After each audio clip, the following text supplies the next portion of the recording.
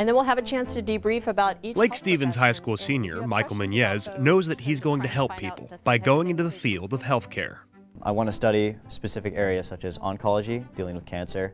We need to X that out now. Instead of taking it easy, Michael has been attending a program for high school students at the UW School of Pharmacy, Think about a career where he's been learning firsthand from professors and students the ins and outs of pharmacy. Some questions you should ask yourself if you're thinking about a career in a health profession is, you know, do you want to take care of patients? We bring in high school students because we know that early on in um, the high school year, students start thinking about what they want to do in their, you know, later life after high school in their career. Well, on one side, I love working with people, and I love the idea that I can directly help someone. But on the other hand, I would love to research for myself and contribute directly to the cause. Michael's interest in medicine began early. For most of his childhood, he had severe problems eating.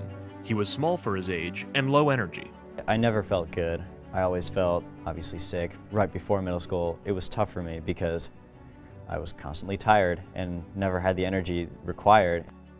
A visit to the allergist revealed that Michael had been living with celiac disease. It was somewhat frightening knowing that I'd had that for so long and I just never knew. But it was empowering knowing that I could finally control it. I started researching different autoimmune diseases. It got me very interested in pharmacology and the idea that medicine is being created to treat things that, that change people's lives.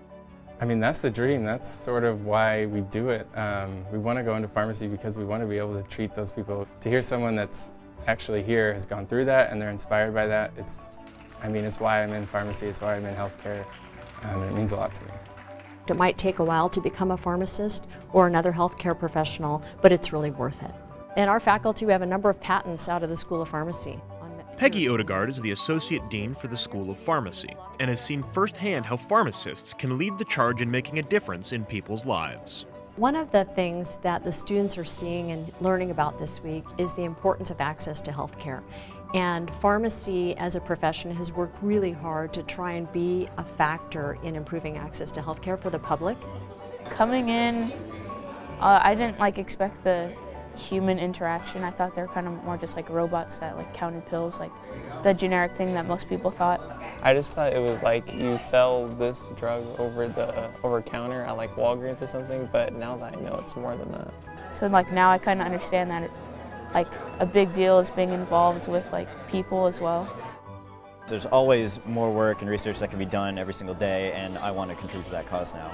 I definitely see it as my number one choice for college, and I can't wait to apply.